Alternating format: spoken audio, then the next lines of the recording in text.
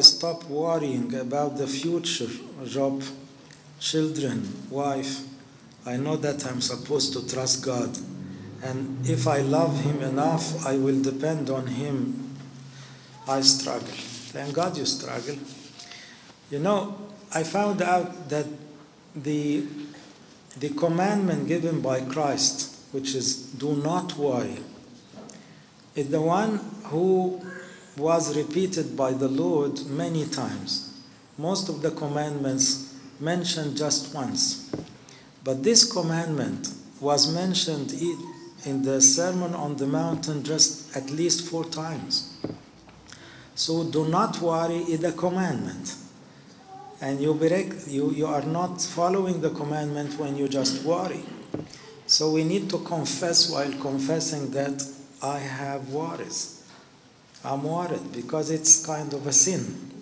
Because when you are worried, it's, it's simply lack of faith. You do not trust God enough.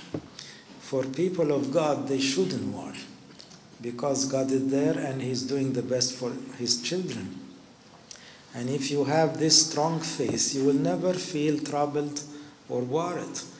But you will be the source of peace for everybody around because you are sure that your Father, God the Almighty, He is there and He is doing the best for you.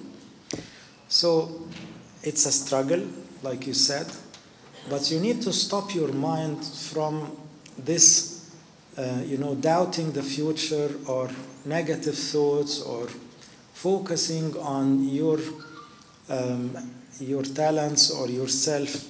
When you focus on God, you feel, you feel better. When you focus on yourself, you feel little, you feel bad, you feel weak, you feel fa- failure, big failure. But just focus on God because He can give you everything.